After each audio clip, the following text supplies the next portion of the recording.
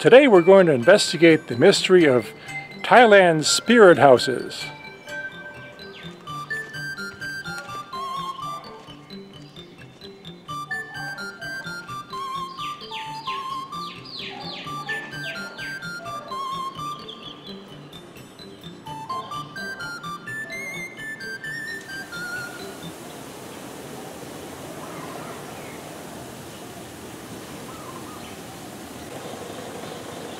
In Thailand, there are plenty of physical clues that remind you of where you are.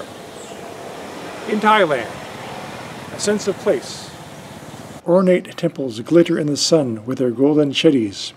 Old traditional houses endure the tropical sun and rain with strong and heavy teak timbers. But venture deeper into Thailand and you start to see buildings that could have been built anywhere and you begin to lose that precious sense of place. But wait, what's that? Small structures dot the urban landscape. These are Thailand's spirit houses.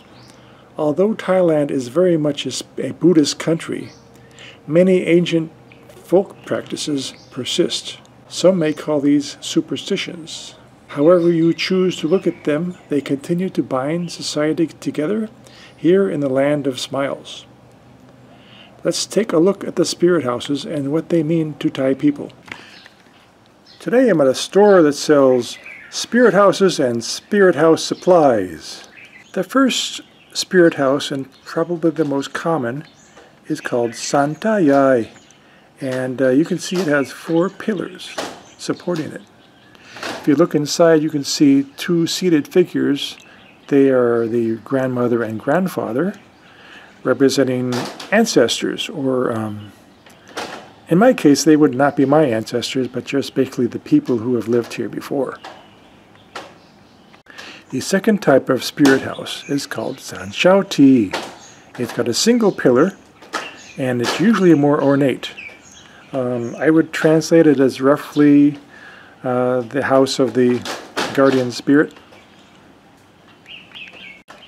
And you can see it's got a uh, single upright figure in the middle of the little house. Um, I've always thought it was the Buddha, but it's actually a an angel or a guardian spirit. Another thing you'll see is San Prapum, which is a not really a spirit house, but a shrine to the Hindu deity Brahma. He's got four faces and I'm sure there's a symbolic meaning behind that. To my mind, it just shows that he's going to watch your back for you. I don't know.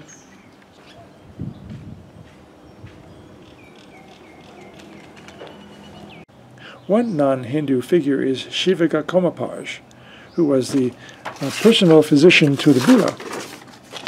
His figure is often seen in massage businesses.